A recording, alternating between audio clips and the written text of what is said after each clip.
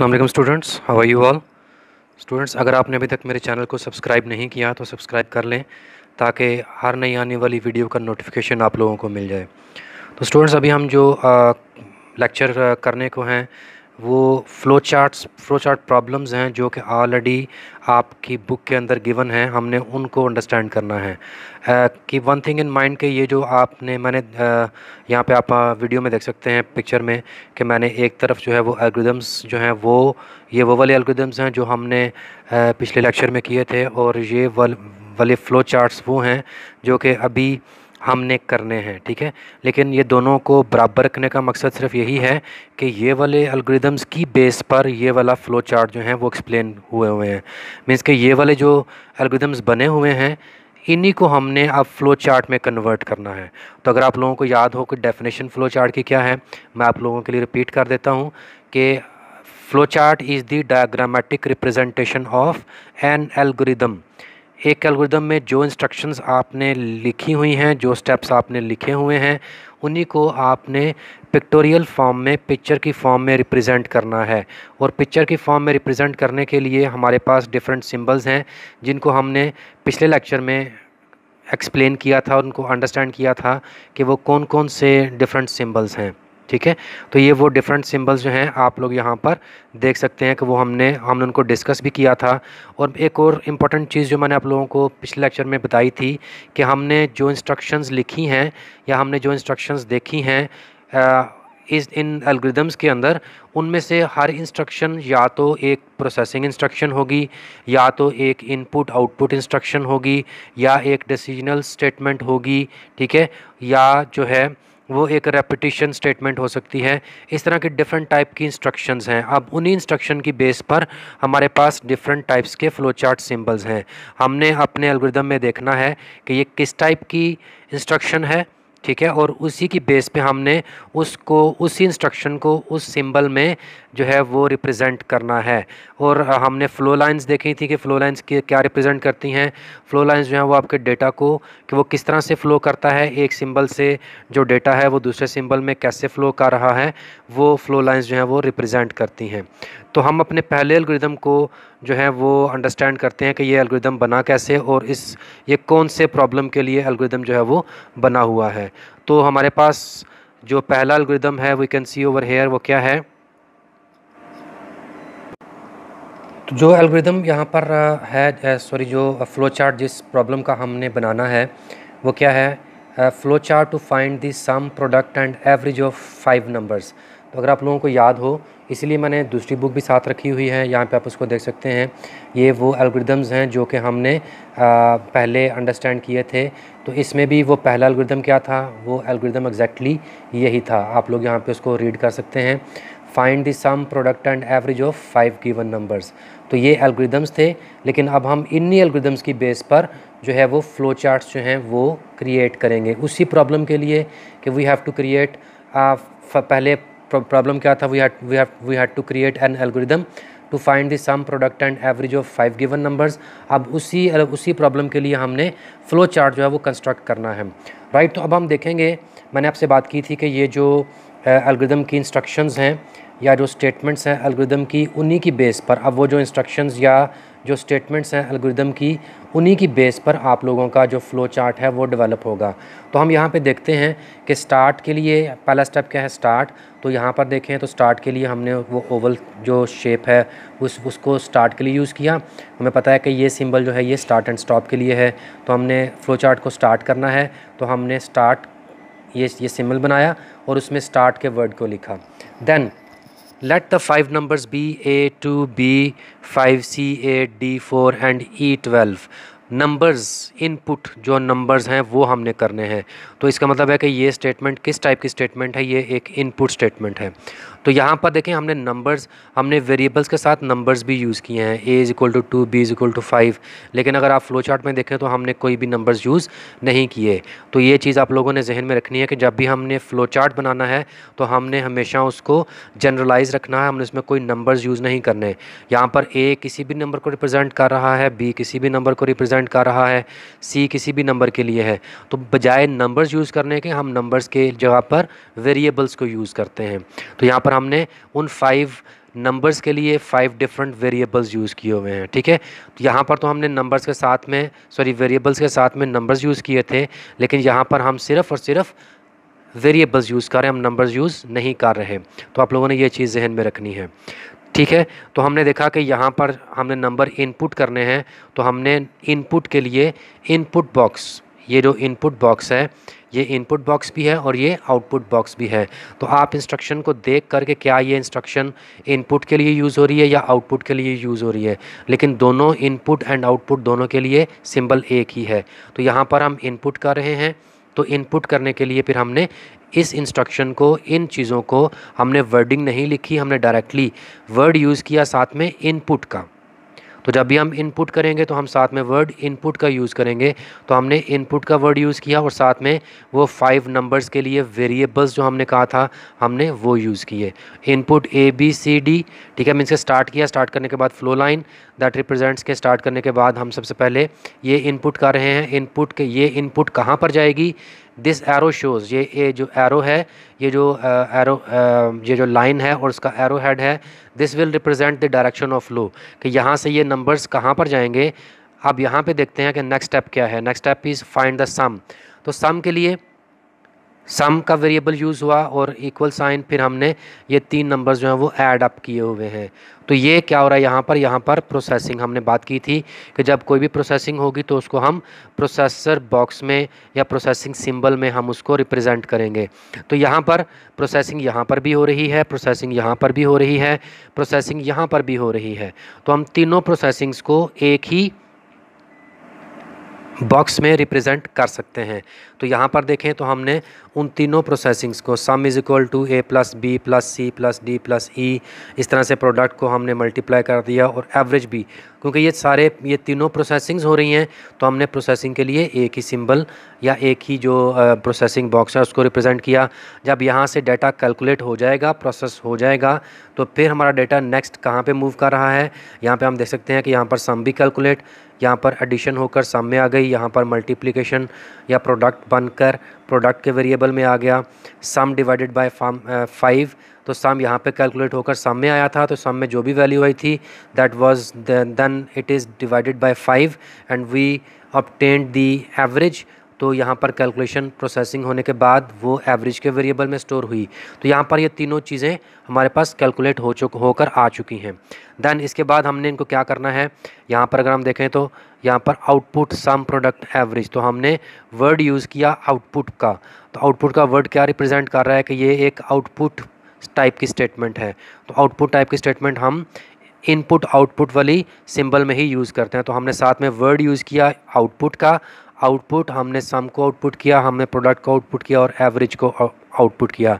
तो यही पर्पज़ था हमारे फ्लो चार्ट का कि हमने सम प्रोडक्ट और एवरेज फाइंड आउट करके उनको आउटपुट आउटपुट में रिप्रेजेंट करना है। तो हमने यहाँ पर आउटपुट सिंबल में उनको रिप्रेजेंट किया। तो इसके बाद हमारा फ्लो चार्ट, हमारा जो मकसद है वो कंप्लीट हो गया। तो इसके बाद दिस एरो शोज़ कि हमारा फ्लो चार्ट जो है वो अब स्टॉप हो गया है। तो यहाँ पर आप लोगों ने सीखा है कि हमने अपने एल्गोरिदम को, की जो स्टेटमेंट्स हैं, उनको एवेलुएट करना है कि कौन सी स्टेटमेंट किस टाइप की है। क्या वो एक इनपुट आउटपुट स्टेटमेंट है? क्या वो प्रोसेसिंग स्टेटमेंट है? क्या वो एक डिसीजनल स्टेटमेंट है? तो हमने इन, इसी बेस पर हमने फिर उनको, उन्हीं स्टेटमेंट्स को हमने, यहाँ पर हम देखें कि हमने यहाँ पर वर्डिंग्स यूज़ की हैं, लेकिन हमने यहाँ पर फ्लो चार्ट में वर्डिंग्स यूज़ नहीं की, हमने सिंपल एंड सिंपल जो उनकी यहाँ पर प्रोसेसिंग में देखें कि हमने सिंपल एक वो इक्वेशन जो कि प्रोसेस कर रही है, जो कि एड अप कर रही है, जो सम फाइंड आउट कर रही है, सिर्फ़ उसको लिखा है। लेकिन यहाँ पर हम सेंटेंसेस भी लिखते हैं, यहाँ पर हम सेंटेंसेस नहीं लिखते, हम उनको सिंपल रिप्रेजेंट करते हैं। जी, इसके बाद देखें जो हमारा नेक्स्ट फ्लो चार्ट है that is flow chart to find the largest of three unequal numbers तो इसके लिए हमारे पास ऑलरेडी जो है वो अलगोरिदम मौजूद है। हमने उसी अलगोरिदम को फ़्लो चार्ट में कन्वर्ट करना है। तो उसका जो अलगोरिदम है वो आप लोगों को मैं शो करता हूँ। तो यहाँ पर आप देख सकते हैं कि ये ये जो फ़्लो चार्ट है, ये कौन से अलगोरिदम की बेस पर है? ये अलगोरिदम था find the largest of three unequal numbers this was the algorithm और इसी की एल्गोरिदम इसी एल्गोरिदम को हमने फ्लो चार्ट में कन्वर्ट करना है। तो यहाँ पे देख सकते हैं कि स्टार्ट स्टार्ट हमने पहला स्टेप क्या है? स्टार्ट और यहाँ पर हमारे पास तीन वेरिएबल्स इनपुट हैं। A is equal to ten B is equal to twenty and C is equal to thirty तो ये हम तीन वेरिएबल्स इनपुट कर रहे हैं। तो देखें, ये एक, ये स्टार्ट का सिंबल हमने इसको स्टार्ट किया। Then we had this arrow downward कि यहाँ से स्टार्ट के बाद क्या हो रहा है? इनपुट हमने तीन नंबर्स इनपुट किए ए बी सी ठीक है? इसके बाद नेक्स्ट क्या है? Check if A is the largest number अब यहाँ पर हमने चेक करना है कि ए ए को हम यहाँ पर इफ़ कंडीशन के ज़रिए से यहाँ पर अब आपके पास डिसीजनल स्टेटमेंट आ गई कि if A is greater than B and A is greater than C ठीक है? तो इसकी ये एक डिसीजनल स्टेटमेंट हो गई। If represents a decisional statement तो डिसीज़न में ये एक कंडीशन हो गई। ये जो आपके सामने है, ये वाला part this is the condition of this if statement और ये इसका वो पार्ट है जब आपकी ये कंडीशन अगर येस होती है या ट्रू होती है तो ये वाला पार्ट एग्जीक्यूट होता है। और अगर यही कंडीशन फॉल्स होती है तो फिर ये अदरवाइज़ वाला पार्ट जो है in case of no in case of no जो है वो ये पार्ट एग्जीक्यूट होता है। अब अगर आपको याद हो तो डिसीजनल स्टेटमेंट के लिए हमारे पास जो डिसीजनल सिंबल था, वो क्या था? दैट वाज लाइक दिस ये एक रोहम्बस की तरह। या डायमंड शेप की तरह एक डिसीजनल स्टेटमेंट है सॉरी डिसीजनल सिंबल है। हमने अपनी कंडीशन को if A is greater than B and A is greater than C इसको हमने यहाँ पर रखा। अगर आप यहाँ पर इफ़ का वर्ड भी यूज़ कर लेते हैं तो कोई फ़र्क नहीं पड़ता, ठीक है? तो हमने यहाँ पर इफ़ का वर्ड भी यूज़ कर लिया या इज़ का वर्ड यूज़ कर लें। इफ़ या इज़ जो है वो एक डिसीजनल स्टेटमेंट को रिप्रेजेंट करेगा। तो हमने इफ़ का वर्ड यूज़ किया। तो इफ़ के बाद हमने कंडीशन लगाई। अब ये कंडीशन या तो ट्रू होती है या ये कंडीशन फॉल्स होती है। तो हमने यहाँ पर भी देखा था कि इन केस ऑफ़ येस हमने ये पार्ट एग्जीक्यूट करना है। इन केस ऑफ़ नो हमने ये पार्ट एग्जीक्यूट करना है। तो यहाँ पर हमने बात की थी कि डिसीजनल स्टेटमेंट में हमारे पास एक ही इनपुट होती है। तो ये हमारे पास तीन नंबर्स इनपुट हुए। अब इनमें से A A if A is greater than B and A is greater than C तो फिर हमने इसका येस पार्ट येस पार्ट में क्या था? कि अगर हमारे पास सपोज़ ए की वैल्यू जो है, यहाँ पर इन्हीं के इन्हीं नंबर्स को देख लेते हैं ए टेन है तो ए की value ten is greater than B false हुआ। Ten is greater than C ये भी फॉल्स हुआ, ठीक है? सी की वैल्यू थर्टी है और बी की वैल्यू ट्वेंटी है। Ten is not ten is greater than B false ten is greater than C false तो इसका मतलब कि ये ओवरऑल आंसर फॉल्स हुआ तो ये येस की तरफ़ नहीं, ये नो की तरफ़ जाएगा। नो पे क्या है? नो पे क्या लिखा हुआ है? हमने नो वाला पार्ट एग्जीक्यूट करना है अगर तो ये यस वाला पार्ट एग्जीक्यूट होता तो ये ट्रू होता तो फिर यस वाला पार्ट एग्जीक्यूट होता। तो यहाँ पर यस के लिए आउटपुट ए मींस के जब ए सपोज़ के ए की वैल्यू सबसे बड़ी है, ठीक है? ए की वैल्यू सबसे बड़ी है सपोज़ हम करते हैं कि A is equal to forty ठीक है? तो फिर forty forty is greater than twenty forty is greater than thirty तो ये सारा ट्रू हुआ, इसका मतलब कि ये पार्ट एग्जीक्यूट हुआ। तो हमने यस वाला पार्ट ये वाला है तो ये यस वाला पार्ट तो हमने यस वाले पार्ट में क्या किया? आउटपुट ए यहाँ पे क्या लिखा है? लार्जेस्ट ए है। तो हमने आउटपुट ए किया। तो ए करने के बाद go to step number seven तो स्टेप नंबर सेवन क्या है? स्टेप नंबर सेवन जो है दैट इज़ आउटपुट लार्जेस्ट के इसको आउटपुट करना है। तो हमने आउटपुट का सिंबल भी यूज़ कर लिया और हमने आउटपुट का रिज़ल्ट भी डिस्प्ले कर दिया। तो येस के केस में हमने आउटपुट ए के ए लार्जेस्ट है, उसको आउटपुट भी कर दिया। उसके बाद यहाँ पर स्टॉप कर दिया। ये जो कनेक्टर सिंबल है, ये ऑन पेज कनेक्टर सिंबल है दैट रिप्रेजेंट्स के आपकी जो फ्लो चार्ट है वो एक ही पेज के ऊपर एक और लोकेशन पर जो है वो कनेक्ट हो रहा है। लेकिन एज सच यहाँ पर ये कनेक्टर सिंबल की ज़रूरत नहीं थी। अगर आप इसको सिंपल यहाँ से ये स्टॉप में भी ले आते हैं तो कोई फ़र्क ना पड़ता। इसी तरह से ये भी ये डायरेक्ट इसी से, इससे लिंक होता और यहाँ पर स्टॉप पे रहता। इस तरह से ये भी जो है, ये डायरेक्ट इससे लिंक होता। तो ये स्टॉप पे रहता तो यहाँ पर ये एक स्टॉप की तरफ़ सारे जा रहे हैं। ठीक है तो ये कनेक्टर सिंबल की आज सच यहाँ पर ज़रूरत नहीं थी। तो यहाँ पर समझने वाली बात यह है कि यहाँ पर अगर ए सबसे बड़ा होता तो फिर yes A is greater than B and C तो आउटपुट ए करते और फिर हमारा फ्लो चार्ट स्टॉप हो जाता। इन केस के ए इज़ नॉट ग्रेटर ठीक है तो फिर ऑब्वियसली हमने या तो फिर अगर ए ग्रेटर नहीं है, या तो फिर तो या बी ग्रेटर है या सी ग्रेटर है। तो हमने उसके लिए भी तो ये करना है। तो ये इस वाले केस में जब ए टेन था बी ट्वेंटी था सी थर्टी था तो ए ग्रेटर नहीं था। फिर हमने ऑब्वियसली जब ये नो की तरफ़, हमने बात की थी कि एक डेसिमल सिंबल में यस भी होता है और नो भी होता है। तो यहाँ पर एक इनपुट होती है, एक ये आउटपुट है और एक ये आउटपुट है डेसिमल सिंबल की। ये आउटपुट यस को रिप्रेजेंट करती है कि आपकी ये कंडीशन ट्रू है और ये नो को रिप्रेजेंट करती है कि जब आपकी ये कंडीशन सारी की सारी फॉल्स होती है। तो इन वैल्यूज़ के साथ ये कंडीशन फॉल्स हुई हम नो की तरफ़ आए। अब ऑब्वियसली ए बी से या सी से ग्रेटर नहीं है। इसका मतलब है फिर या तो बी जो है वो ग्रेटर होगा या सी ग्रेटर होगा। तो हमने नेक्स्ट जो है वो अपने फ्लो चार्ट में भी देखा था कि हमने नेक्स्ट जो है वो किसको रिप्रेजेंट किया था? बी को कि B is greater than A B की वैल्यू अब यहाँ पर ट्वेंटी है। उसके लिहाज से twenty is greater than A false हुआ।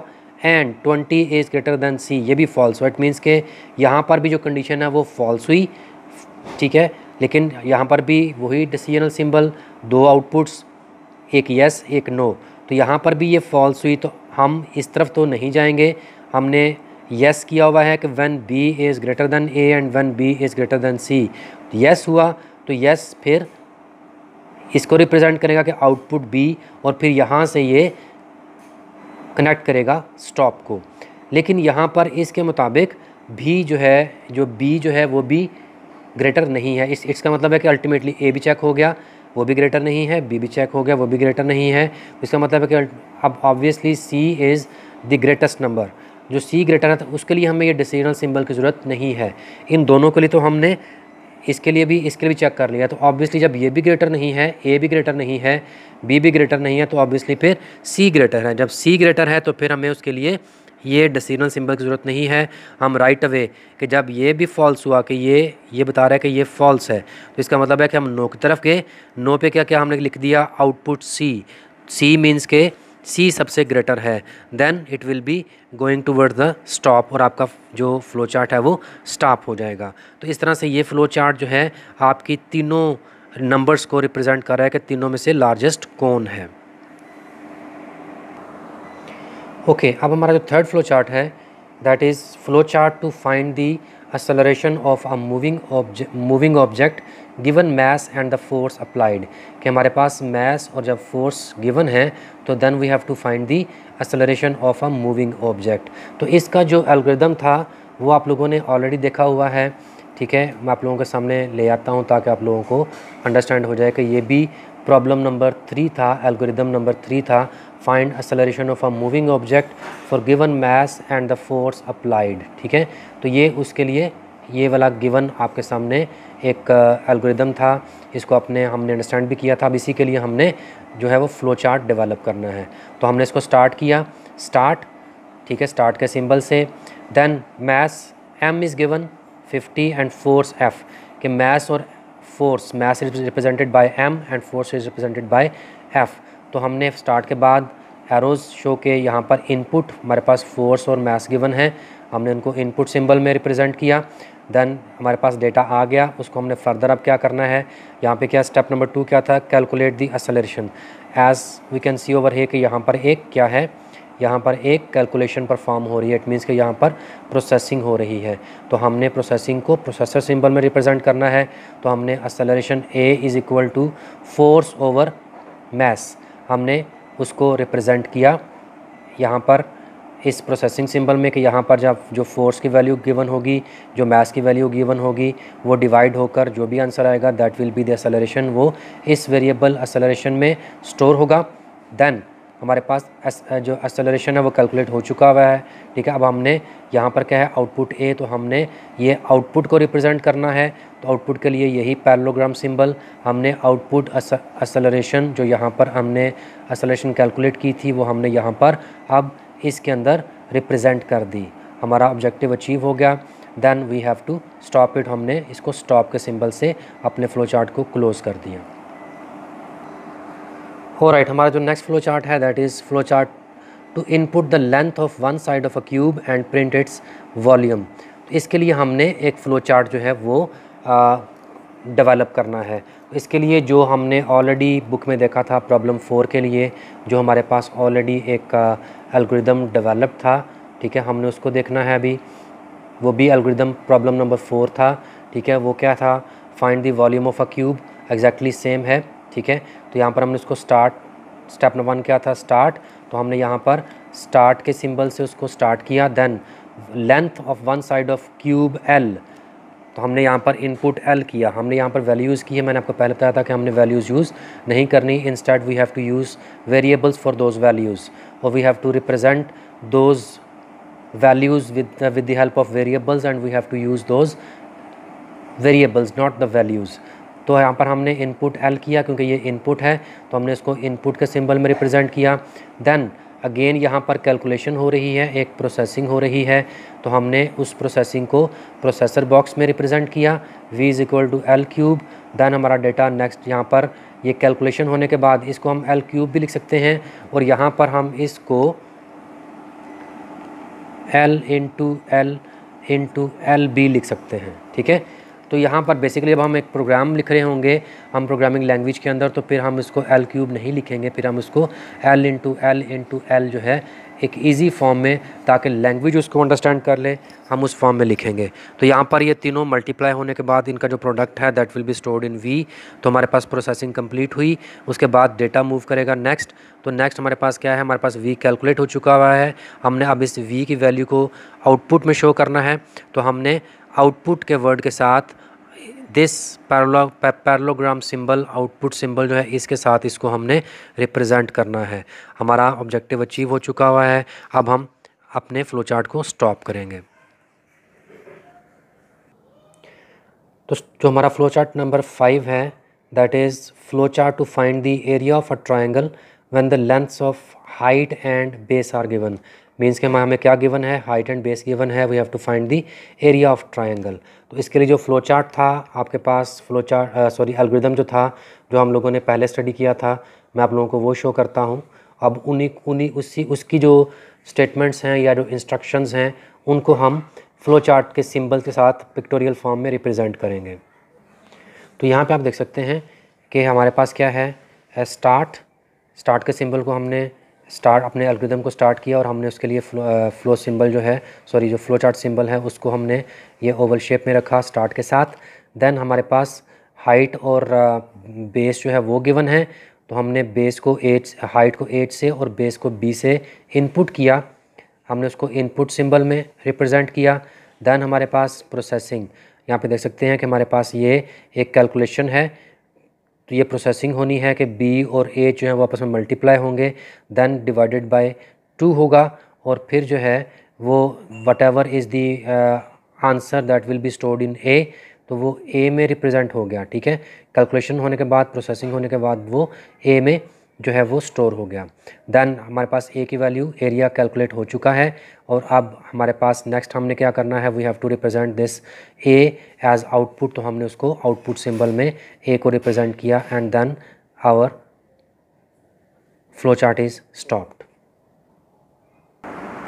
और स्टूडेंट्स हमारा जो नेक्स्ट फ्लो चार्ट है फ्लो चार्ट सिक्स वो क्या है? Flow chart to read marks M and print letter grade according to the following criteria ये क्राइटेरिया दिया हुआ है यहाँ पर। इसकी बेस पर हमें हमने हमें मार्क्स इनपुट होंगे और उन मार्क्स की बेस पर हमने letter grade A one A B तो यहाँ पर ये रेंज दी हुई है कि जब marks greater than equal to eighty हों और मार्क्स जो हैं वो लेस दैन मीन्स के एटी से लेकर हंड्रेड तक के एट्टी के इक्वल हों एट्टी से ग्रेटर हों, लेकिन वो हंड्रेड से लेस हों।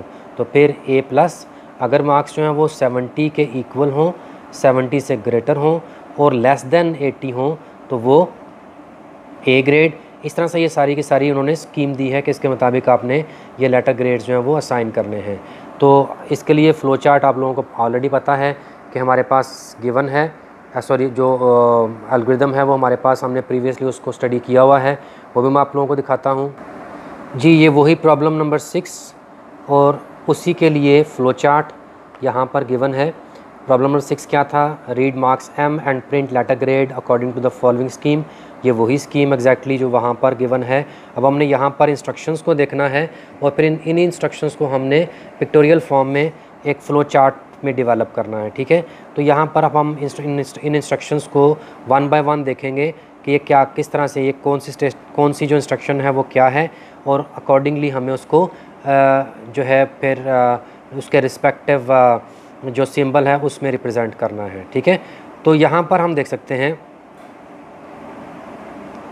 कि पहले स्टार्ट किया हमने स्टार्ट के सिंबल को हमने रिप्रेजेंट इस स्टार्ट को हमने स्टार्ट के सिंबल से रिप्रेजेंट किया फिर let the marks be M कि मार्क्स जो है वो एम है हाँ, ये एक इनपुट है तो हमने इसको इनपुट में रिप्रेजेंट किया।